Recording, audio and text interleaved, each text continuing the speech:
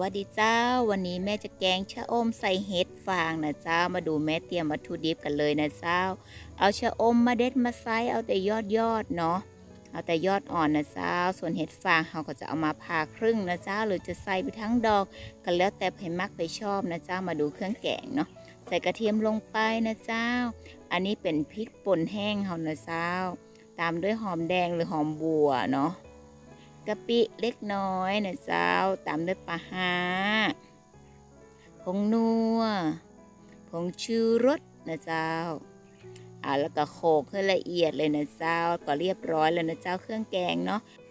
เอามาดูหน้าเตาเลยเจ้า ตั้งหม้อเนาะน้ำหอนเรียบร้อยแล้วเราก็ตักเครื่องแกงใส่ลงไปนะเจ้า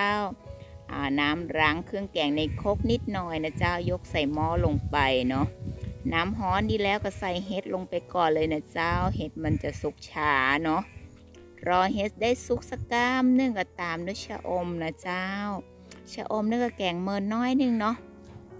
ถ้ามันสุกแล้วสีเปลี่ยนสีแล้วก็ชะอมก็จะบะมีกลิ่นชะอมแล้วเจ้า มันจะมีกลิ่นหอมอ่อนๆนะเจ้า จะกลิ่นจะบะแรงนะเจ้า ถ้าสุกแล้วเนาะ อันนี้ก็ใกล้สุกแล้วนะเจ้า สุกแล้วก็มาชิมรสชิมชาตินะเจ้า จางย่างก็ใส่ลงไปเนาะจางเกลือใส่เกลือนะเจ้าจางปลาหาใส่ปลาหาจางผงนัวก็ใส่ผงนัวเนาะอันนี้ก็เรียบร้อยแล้วนะเจ้าตักใส่ถ้วยใส่ชาม พร้อมเสิร์ฟได้เลยเนาะแกงชะอมง่ายๆนะเจ้าชะอมหน้าฝนนี่ป่งปุ๊ป่งปูนเนาะเจ้า